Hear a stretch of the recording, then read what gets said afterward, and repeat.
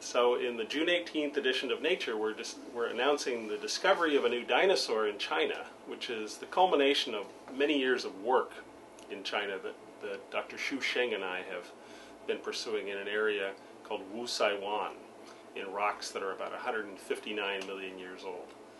So in 2001, we discovered the first of these, and the surprising thing about them was that they were stacked one on top of the other. So there was a stack of these dinosaurs. Unfortunately, that stack of dinosaurs uh, didn't have any skeletons with skulls or the front half of the skeleton. So we found another stack of dinosaurs in 2002 uh, when our geologists really started to figure out that what had happened was these things had been stuck in the mud and had mucked around uh, while they were caught in the mud and they couldn't get out. So they were captured in this mud. So we found more skeletons of this animal, but, but again, they didn't have skulls and really didn't have much in the way of the front part of the skeleton. So that part is very crucial to understanding what these animals are. So finally, in 2005, we found another big block that was the result of animals stuck in the mud. And it had a beautiful skeleton with a skull and the whole front arm. And finally, we were able to see what this was. And it was an unusual dinosaur. This is the first dinosaur of this group that was found in, uh, in Asia, a group called ceratosaurs. So we were able to say, finally, well, we have this really interesting animal, and it was strange in that it didn't have any teeth, even though it was related to animals like T. rex uh, and other carnivorous dinosaurs. So we realized we had this very strange dinosaur, um, and it was the first of its kind in Asia, and we finally understood what these things that had been caught in the mud were.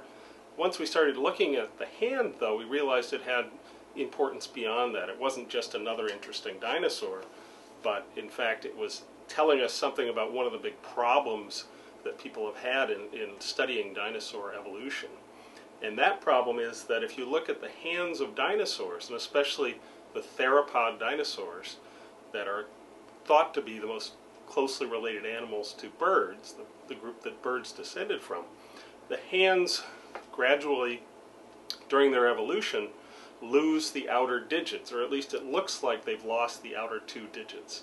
But if you look at bird hands and how the embryo, embryos of birds develop, they look to be the second and third and fourth fingers, so that they've lost the first and the fifth, the inner and the outer one. So this didn't didn't really match up with what we understood about theropod dinosaur evolution. So people had argued about what had gone on in theropod evolution and suggested there were shifts in the fingers uh, during development, um, but nobody had any evidence for it.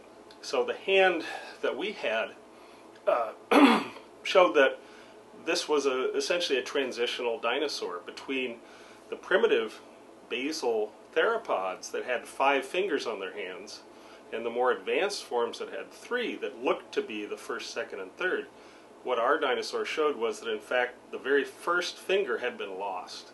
So our hand, the hand of this new ceratosaur, it has a very small first finger and a very big second finger. And what happened was that they lost the first finger and the second finger took on the shape of the first finger of the more primitive and more advanced forms.